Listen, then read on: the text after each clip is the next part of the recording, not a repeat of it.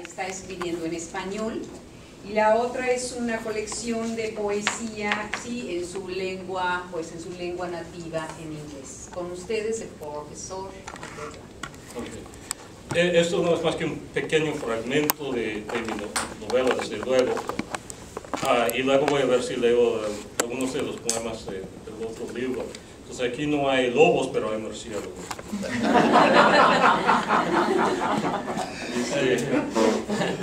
La cueva el vientre de la montaña, el útero del Ibermesh.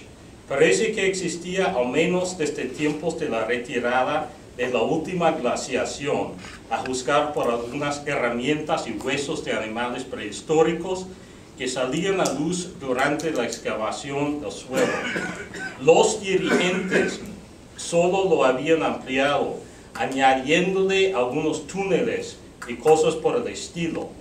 Originalmente iba a servir para guardar documentos de carácter altamente clasificados del gobierno franquista, registros de penas de muerte, la consagración de campos de concentración. Yo aparecí en el escenario antes de que tuviese ese uso.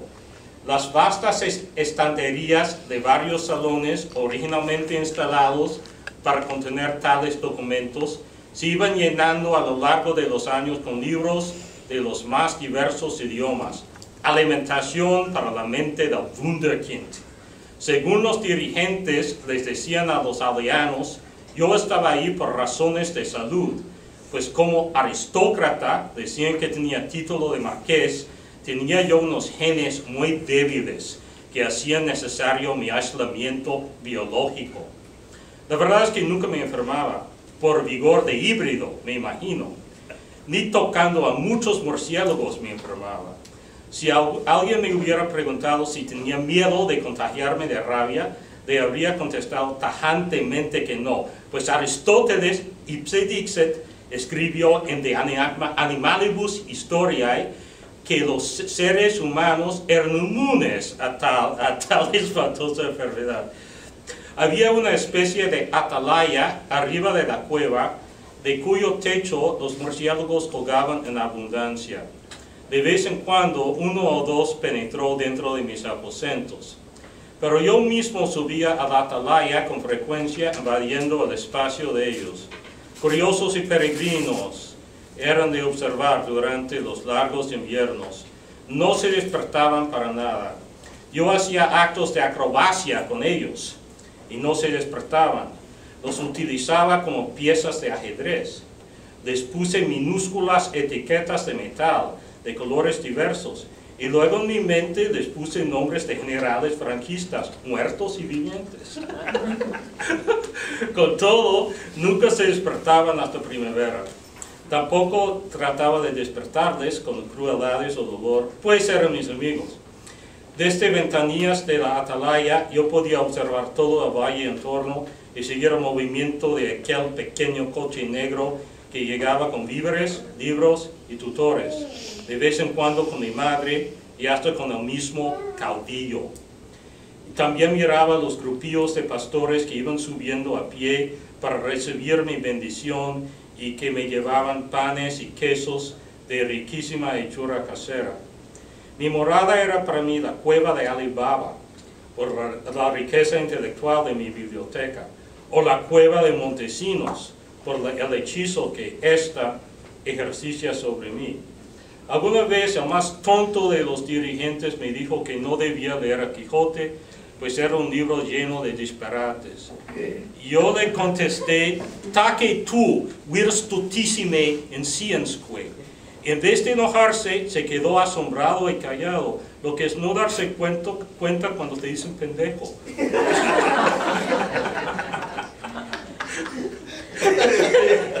Para mí lo único malo de Quijote es que no eran las mil y unas noches. Vaya, las noches eran tan metadiegéticos, como dirían los pedantes universitarios de hoy día.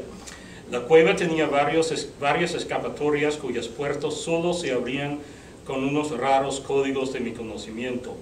De nuevo yo podía desempeñar el papel de Alibaba, de recovecos muy secretos se trataba.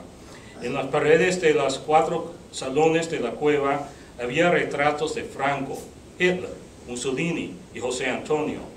Yo me desahogaba a veces escupiéndome en los retratos del Cadillo. Cuando por fin el dirigente notó que había suciedad en los retratos del bien amado, le dije muy calmadamente que de orines de murciélago se trataba. y, y, era que las tinieblas, uh, y, y, era que las tinieblas y las criaturas te tenebrosas atacaban siempre a los portadores de la luz. Al principio era tan tonto que se lo tragaba. Cuando me preguntó por qué no había suciedad en los otros retratos, le contesté que aquellos portaban menos luz, así que atraían menos negatividad. La verdad es que apenas podía yo odiar a esas personas que nunca habían conocido de persona. ok, entonces eso no es más que un fragmento de un, fragmento. Uh, a ver, voy a leer dos poemas sobre las aves. Estoy tratando de escribir un poema sobre la mayoría de, uh, bueno, la mayoría de las especies de, de, pájaros de valle, pero no son poemas científicos, más bien, se puede decir, impresionistas. Entonces, uh, y pongo los nombres de los nombres, de los nombres científicos de los pájaros, pero no es con una intención científica. Ok, eso se llama Loggerhead Shrike. Lanius ludovicianus, little prince high up on the power line with the immensity and the Texas sky all to yourself. A prince charming like an Italian polyglot who speaks all the Slavic languages and then some. Your belly white enough to match the toga of a candidate of innocence. Your black bandido mask would signal only participation in an avian masquerade, but no. Your Latin name unmasks the truth. You are a destroyer, a charming angel of death. Y, uh, oh, Great Kiskadi es un pájaro muy común. Great Kiskadi, Pitangos suboratus. Today, the 1st of July, 2014, the tropical heat is on, but you are, after all, a tropical bird. Perched high on a power line above an iron fence, destined to keep the West out, the white man is fond of building such fences. You spell your alliance with the new sphere. Oh, how joyous are your squawks, your distinctive bright yellow, juxta genus tuum, juxta speciem tuum. The police station is just around the corner as one passes the copse of dry thorn trees, yet no one comes to arrest you. So be it, and shout out again for joy without one melodious note. Juxta genus tuum, juxta speciem tuum. You are pitangus superatus, and no border fences hold you back.